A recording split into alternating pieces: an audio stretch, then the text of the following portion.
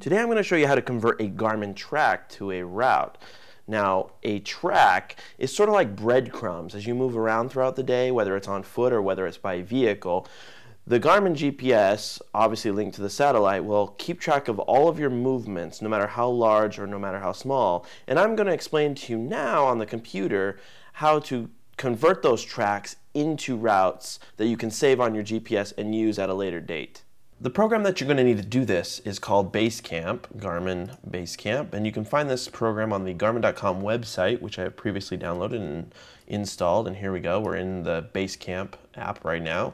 As you can see here, it's currently registering and reading my Garmin Nuvi 2595 that I have connected via USB cable to my Mac computer. And as you can see down here, it's showing a few of the the generic waypoints that I've created simply for this uh, demonstration, as well as the active logs that it's kept for me over the last week or so, uh, showing the dates and times of the active logs, the tracks, uh, or breadcrumbs, like I've previously explained.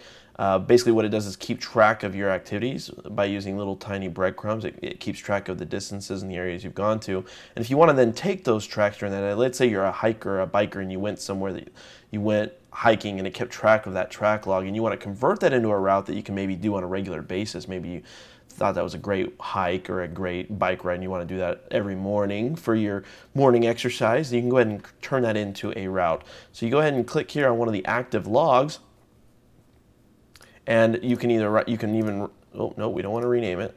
You can click on one of the active logs and right click on it and it'll give you the option to create a route from a track. So we're going to go ahead and click that.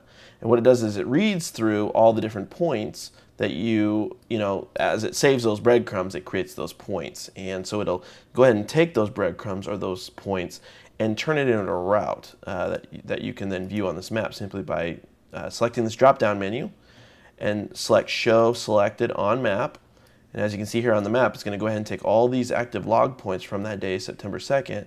And as you can see in the orange line here, it's taken our points of where we traveled and now created a route.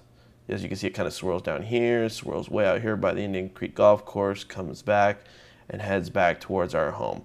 So there we go. That's how you take your tracks and turn it into a route on the Garmin GPS.